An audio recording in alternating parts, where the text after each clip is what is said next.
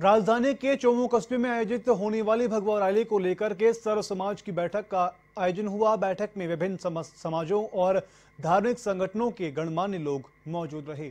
बैठक में भगवा रैली को सफल बनाने सहित कई मामलों को लेकर के चर्चा हुई। चोमू में 24 मार्च को हुए तनाव के दौरान कुछ लोगों ने खिलाफ, कुछ लोगों के खिलाफ मामला दर्ज किया गया। मुकदमों को वापस लेने की मांग की गई। इसको लेकर के मुख्य चौपट बाज़ार में थानाधिकारी हेमराज गुर्जर को डीसीपी के नाम ज्ञापन सौंपा गया। करीब पाँच साल से सभी सामाजिक संस्थाएँ भी पाँच साल से आदमी इकट्ठे हुए यहाँ और फिर हमने डीसीपी साहब को टेलीफोन किया तो उन्होंने कहा कि आप ज्ञापन एसीपी को दे दीजिए।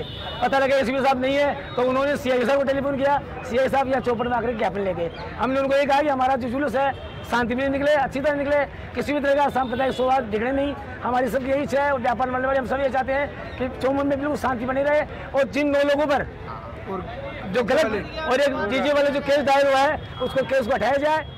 देश और दुनिया की हर छोटी बड़ी खबर के लिए सब्सक्राइब करें एवन टीवी न्यूज़ साथ ही बेल आइकन को प्रेस करें ताकि आप पा सकें ताज़ा खबरों की नोटिफिकेशन